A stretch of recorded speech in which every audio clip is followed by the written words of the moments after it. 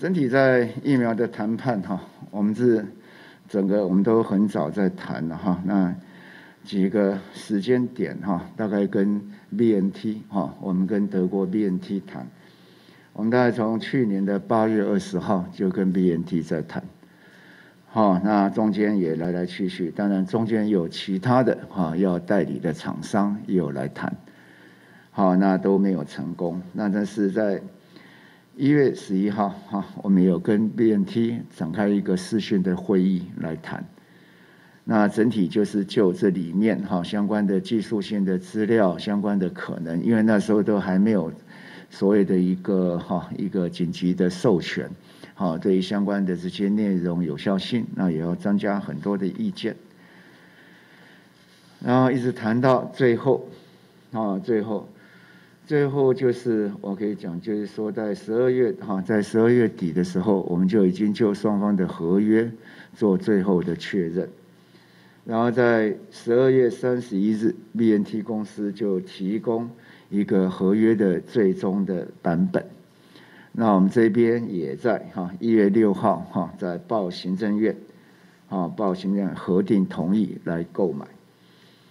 那所以我们就用电子邮呃邮件回复本署已签署之合约的扫描档，这个是我们在一月六号的时候啊，其实已经就从八月八月二十号起一直进行了，中间有一些代理商相关问题，可是如果真的更密切的，大家在 contact 应该是从十一月十一号起，那到一月六号，我们把合约的扫描档。好，就送回 BNT。那这个是双方已经都确认的，好，的一个最终版本。那我们也报行政院同意，所以我们就把这个合约，好以电子档的方式扫描签署了之后送回 BNT。那在这里面，在一月啊七号，我们双方对于说对外揭露的事情，啊合约里面有相关的一些限制。好，所以这张对这些哈有关将来在新闻披露上面哈，双方大家互相的一个要求是什么？做一个交换的意见。那我们也提供了哈我们的一个新闻稿。然后在一月八号啊，我们已经好依照 BNT 建议调整的新闻稿，并提供新闻稿中英内啊中英文草啊草案内容。那 BNT 也回复我们说，对本署的新闻稿没意见。好，所以在这那时候，我们本来就要哈宣告哈这个合约已经成了，就要进行了。可是，在同样的在哈一月八号，好在五个钟头、四个多钟头之后，BNT 突然就来函，就哈就来一个档哈，就说强烈建议本署调整中文版新闻稿至我国二日。那我们也立刻应他们的要求，好，在不到一天的时间，我们就调整了新闻稿的内容，是我国那为台湾。那但是呢，从那个时间起，那 BNT 就开始，好，就等于就是说，他要持续就新闻稿讨论。然后一月十五号就回复我们，啊，应重新评估全球疫苗供应量及调整时程，那签约时间将延后数周。好，那接下来事情大家就比较清楚了哈，就后续的。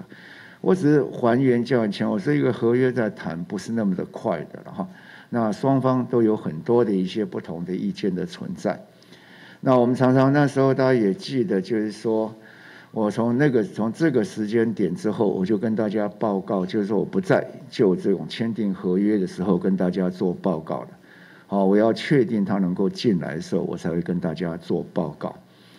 那这个是很清楚，我们已经把合约都已经都敲好了，都已经讲好了。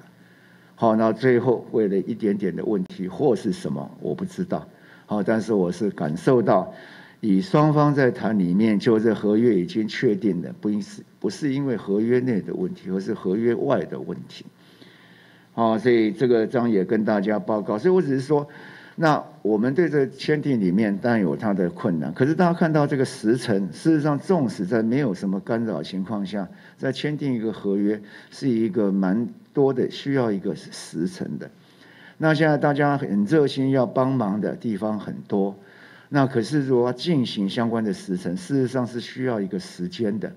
好，那要的人就赶快来。阿伯，我只是说，以现在来的时候，整个大家谈好，其实台湾那时候的疫苗的供应就已经相当充分了。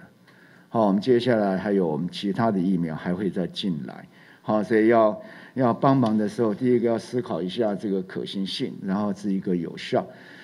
然后 B N T 疫苗来，当然就要重新再分配相关的冷链，所以要进口的也要先把冷链的规划也要先提出来。好，那目前我们整体在运送配送里面，未来的量，昨天跟大家讲，量也是越来越多。